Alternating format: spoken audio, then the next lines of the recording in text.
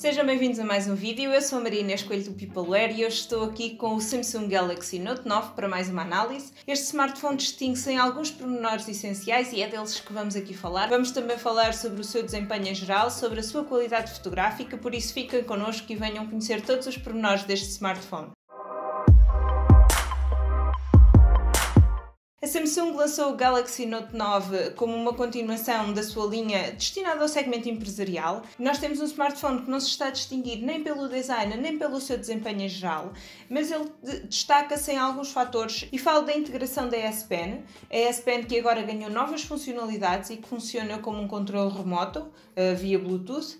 Falo também da DeX, da forma como em segundos podemos passar de um smartphone para um PC e falo também da Bixby, da assistente virtual da Samsung, que já conhecemos das edições anteriores. Uh, desta vez ela tem algumas pequenas alterações que vamos avaliar se são positivas, se são negativas, mas uh, depois também se distingue pelo seu ecrã, um ecrã que, sejamos sinceros, na concorrência é muito difícil encontrar um, um ecrã com esta qualidade uh, e sem notches. A Samsung consegue colocar aqui um ecrã que ocupa a maior área do painel frontal sem lhe colocar um notch. Uh, depois temos ainda a qualidade de som, e aqui na qualidade de som também, muito dificilmente vamos encontrar um smartphone que consiga reproduzir um som em estéreo com tão boa qualidade. Mas vamos por partes e vamos começar então por avaliar os fatores que normalmente fazemos aqui nas nossas avaliações, nas nossas análises. Vamos então começar pela construção e pelo design. O Samsung Galaxy Note 9 tem uma construção em metal, com a traseira, tanto a traseira como a frente em vidro, com proteção Gorilla Glass 5. Esta construção e, e mesmo o próprio design ele já vem do Samsung Galaxy S9 e de certa forma também é uma continuação daquele que era o Note 8, que também já tinha uh, mais ou menos este design e onde foram, evidentemente, uh, feitas algumas alterações de forma a melhorar alguns problemas que tinham sido detectados no modelo anterior. Falo, por exemplo, da posição do sensor de impressões digitais, que já no S9 uh, tinha passado para baixo das câmaras e aqui volta a acontecer a mesma coisa. E falo também do, do ecrã, temos um ecrã ligeiramente maior, temos um, um ecrã que ocupa uma área ligeiramente maior também uh, do painel frontal do smartphone. Depois, em termos de design, a Samsung ainda criou um smartphone com a cor azul, com a S Pen amarela, para os utilizadores mais arrojados, criando assim um impacto visual mais interessante. Mas para os mais clássicos também ainda existe o um modelo em preto. Destaca ainda para o botão da Bixby, que agora não se pode desligar, e para mim esta é uma falha, a Samsung não devia ter feito esta alteração. Depois também temos o jack de áudio de 3,5mm, que a Samsung fez questão de não abdicar dele. Temos simultaneamente o jack de áudio de 3,5mm e a porta USB tipo C. Além disso, ainda temos o certificado IP68 de resistência à água e a poeiras. E agora vamos passar ao segundo ponto da nossa análise, que é avaliar o ecrã, a qualidade do ecrã. O Note 9 tem um ecrã Super AMOLED de 6,4 polegadas com uma resolução Quad HD+. A Samsung já demonstrou que é contra notch e nós já vimos isso uh, em alguns vídeos em que a marca goza com outras marcas, nomeadamente com a Apple uh, e com o seu iPhone 10, em que demonstra que não é necessário colocar um notch para poder ter todas as funcionalidades, todos os sensores e ocupar uma excelente área do painel frontal sem ter que colocar ali qualquer recorte uh, no ecrã. Não sou propriamente a favor do notch, principalmente no mundo Android e em muitos smartphones em que se nota que não há uma otimização. Uh, pode ser que agora com o Android 9 essa situação seja corrigida, uh, mas até ao momento ainda não vi nenhum smartphone que realmente eu achasse que, que o notch estava a ser bem utilizado, ou melhor, que estava a ser tirado partido da área que fica ao lado do notch. O ecrã tem uma proteção Gorilla Glass 5 continua a ter um acabamento curvo com as funcionalidades já conhecidas dos modelos anteriores e ainda traz as funcionalidades do Always On Display. E será que agora vale a pena falar da qualidade do ecrã? Sinceramente, acho que já sabem que dentro do melhor, a Samsung tem o melhor.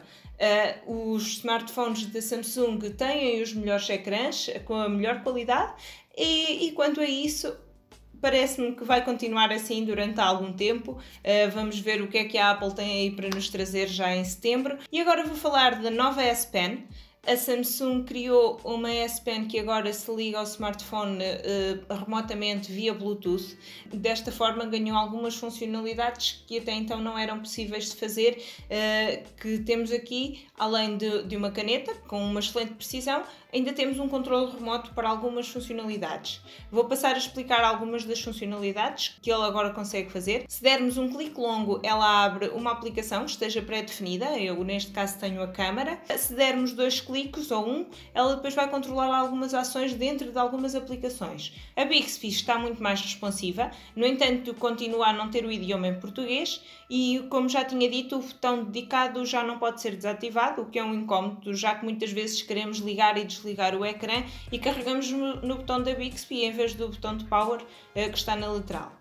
O desempenho do Note 9 é muito bom, o seu desempenho é muito competente, é um smartphone muito competente e outra coisa não seria de esperar, estamos a falar de um smartphone entre os 1000 e os 1200 euros.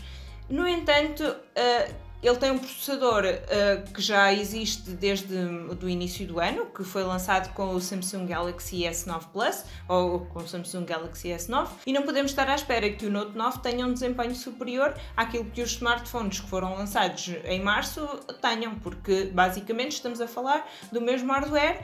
O software também pouco mudou, uh, tem algumas otimizações, é claro, uh, mas não podemos estar aqui à espera de um desempenho superior. Ele encontra-se na mesma linha. O Note 9 chega-nos é com um novo sistema de refrigeração, de forma a manter a temperatura dos seus componentes mais estável para que o desempenho não seja prejudicado. E sinceramente não vemos perdas de desempenho ao longo do, da utilização, nem é necessário andar a fechar aplicações, nem, nem nada do género, mas o que sentimos e com o decorrer do tempo em tarefas mais exigentes é um sobreaquecimento excessivo da, da estrutura do smartphone, principalmente na lateral em metal.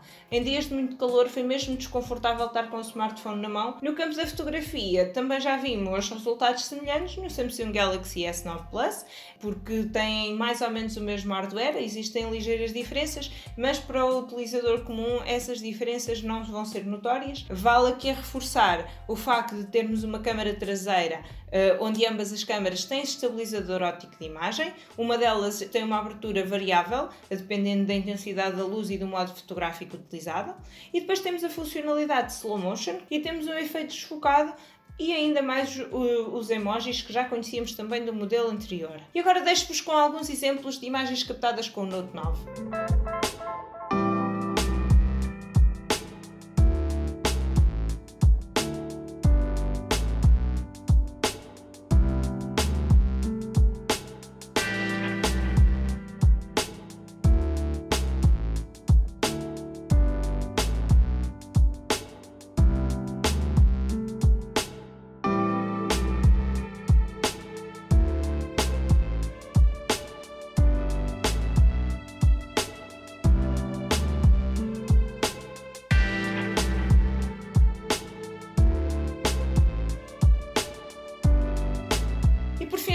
Falar da autonomia. O Note 9 tem uma bateria de 4000 mAh com tecnologia de carregamento rápido, carrega na sua totalidade em 110 minutos, um tempo muito bom para uma bateria com esta capacidade e que em 30 minutos consegue carregar 35%. Com o teste da PC Mark conseguimos uma autonomia de 9 horas e 42 minutos. Na prática, com o Always On ativo, a autonomia tende a diminuir, eh, mas dura perfeitamente um dia inteiro. Eh, só em dias em que a câmara foi utilizada com uma maior intensidade é que foi notório um consumo mais elevado, não tendo este chegado ao final do dia com bateria. Resumindo, estamos aqui a falar de um smartphone caro, mas que tem especificidades e é dirigido a um público muito específico, com exigências muito específicas para as quais apenas este smartphone atualmente consegue responder. Nos cinco tópicos aqui avaliados, eh, o ecrã, a qualidade de construção e o design, o desempenho, a autonomia e a câmara fotográfica, em todos eles temos aqui uma nota muito positiva, uh, o smartphone que se mantém no topo e onde a interação com a S Pen é única e não temos, na verdade, mais nenhum smartphone a fazê-lo desta forma. Não se esqueçam que no site existe também a análise completa escrita, eh, onde tem todas as especificações e mais alguns pormenores que não são ditos aqui em vídeo. Eh, por isso, eh, passem por lá, eu deixo o link na descrição do vídeo e deixo também nos cartões. E já agora deixem-nos também a vossa opinião em relação ao Galaxy Note 9. Não sei se já há por aqui alguém que tenha o modelo em mãos, que possa também dar a sua avaliação. Subscrevam também o canal, deixem um gosto no vídeo e até à próxima!